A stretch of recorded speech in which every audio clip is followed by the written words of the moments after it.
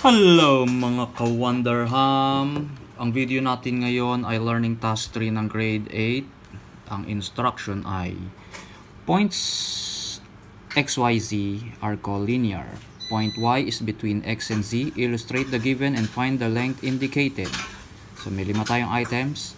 By the way pala, iniba ko ng onti ang given para hindi naman basta-basta lang nyo kokopyahin para pag-isipan nyo rin. So, at least may idea kayo kung paano gawin yung inyong learning task 3 para isolve nyo rin yung mismong task uh, ng sa sarili nyo lang. Okay? Pero similar lang to iniba ko lang ng onti yung given. Disclaimer muna maaari po akong magkamali sa aking solution at answer dahil hindi po ako teacher. So pasensya na po sa mga nakakakita na may mali akong sagot. So simulan na natin So, paano ba gagawin natin dito? Find xz if xy is 15 and yz is equal to 10. I-drawing muna natin yung instruction para maintindihan natin. Points xyz are collinear. Ibig sabihin, magkakalinya. Nasa iisang linya yung x, y, z.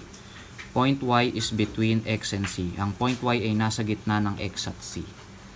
So, kung meron kang isang buong line, to line, ito yung point X. Ito yung point Y. Ito yung point Z. Collinear yung X, Y, C nasa iisang linya. Ang point Y ay nasa gitna ng X at Y. So illustrate the given and find the length indicated.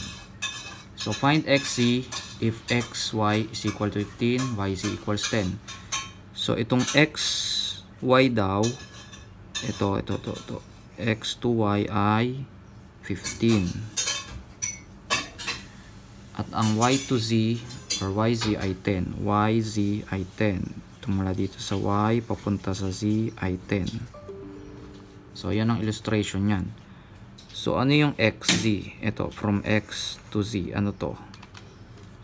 So pag-aadin mo lang 15 plus 10 is equal to 25 So, ang layo ng x sa z ay 25 kasi x to y, 15, y to z, 10. 15 plus 10, 25. So, ang sagot sa 1 ay 25. So, paano naman ang find x is if xy is 13, yz equal to 7. So, ganun din. xy, gagawin mong 13, 13. Ang yz, gagawin mong 7. So, pag-aadin mo lang din, 13 plus 7 is equal to 20. Ang x to c ay 20. So, ganun lang kadali.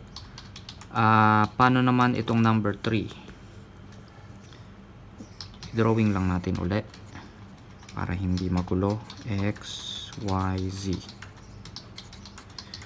Uh, find xy naman. Yung xy naman yung hinahanap mo. Ang yz ay 6 So, ito y, z, y hanggang z ay 6. Saan na yun? y, z, 6. x, z ay 26. x to z ay 26. x mula dito sa x, papunta sa c. Ito x, papunta sa c, sa z. 26 ang kanyang distance. So, ano yung xy? Ito, x to y Uh, kung 26 tong isang buo, bawasan mo ng 6. 26 minus 6 is equal to 20. So, ang xy ay 20. Tama, kasi 20 plus 6 is equal to 26. So, tama ang sagot natin. 20 ang xy. So, paano naman tong number 4? May mga xx na rin. Pero small letter x lang to. Yan lang yung parang variable natin iba siya dun sa x nung line. So, xz, 5x plus 4, xy, 3x plus 5, yz equals 3, find x. Lagi bang pina-find si x? X na nga. X na nga si x eh. Dapat ang find mo ay si the one. Find the one. Susunod nga ganun na ipapalit ko. Find the one. So, number 4. Ang xz daw ay 5x plus 4. xz ito mula sa x papunta sa z ay 5x plus 4 Tapos, xy, 3x plus 5. xy, so itong x hanggang sa y ay 3x plus 5. Ang yz ay 3. y papuntang z ay 3. 3 dito. So, paano natin nahanapin ang x? So, itong x to z, 5x plus 4, uh, makukuha mo yan pag pinag-add mo tong xy sa yz. 3x plus 5 plus 3. So, ganun lang yan. 3x plus 5 plus 3 equals 5x plus 4.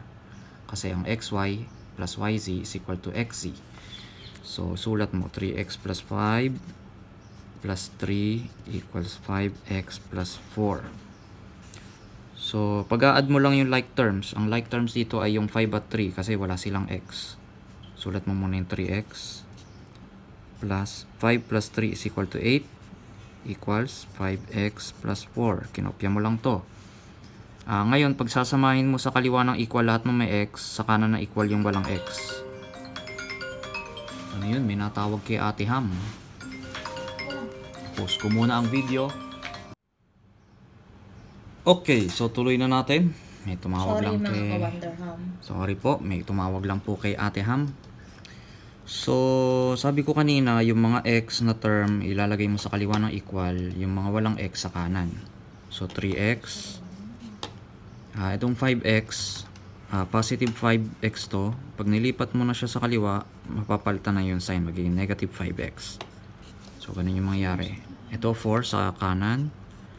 Itong positive 8, kapag nilipat mo naman sa kanan, ganun din, magiging negative 8. Mapapalitan yung sign.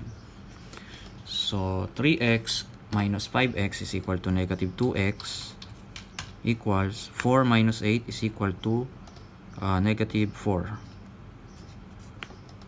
Tapos divide mo sa negative 2 para matira yung x. Ay, ba't ka nilagyan ng 2x? Negative 2. Oops. So, yung negative 2x, di-divide mo sa negative 2 para yung x lang yung matira kasi makakancel yung negative 2 di-divide mo rin yung kanan sa negative 2 para parehas lang. So, x na lang natira dito equals negative 4 divided by negative 2 is equal to positive 2. So, ang x ay 2. Yun sagot sa number 4. Ngayon, uh, ano naman yung length nitong mga to? Nitong mga to. So, sasubstitute mo yung x. So, ang x ay 2. So, 3x plus 5 to. 3. Yung x paltan mo ng 2 plus 5. So, 3 times 2, 6 plus 5 is equal to 11. So, itong 3x plus 5, 11. Uh, ito naman 5x plus 4. So, yung x paltan mo ng 2, 5 times 2 plus 4. 5 times 2, 10 plus 4 is equal to 14.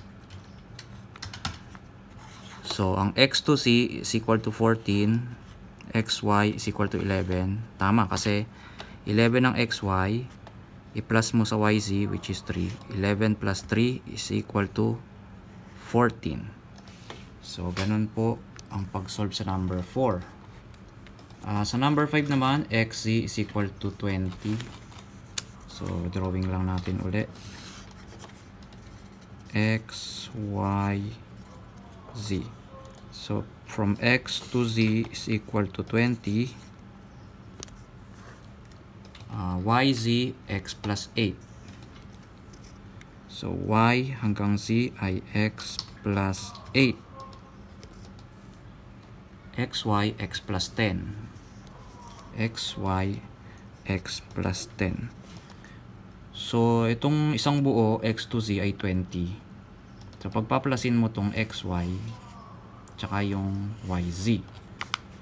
So, x plus 10 plus x plus 8 is equal to 20, yung isang buo. So, paano to? Pag add mo yung like terms, x plus x is equal to 2x. Ito yun, x tsaka x. 10 plus 8 is equal to 18. Equals 20 pa rin.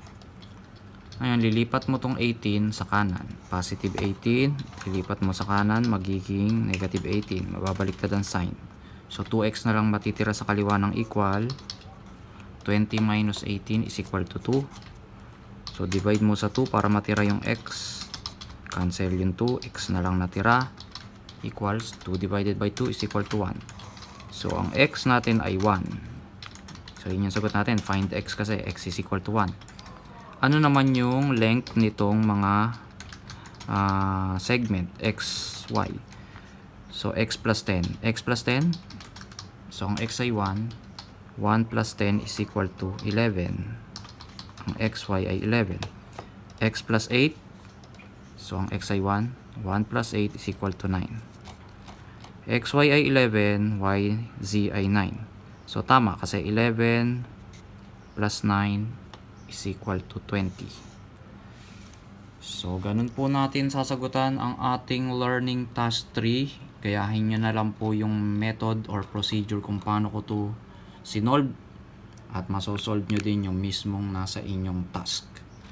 So, yan lang po. Kung may natutunan po kayo sa video na ito, please like, share sa inyong mga classmate, best friend, tropa at crush. At pasubscribe nyo na rin sila sa ating YouTube channel. Bye-bye!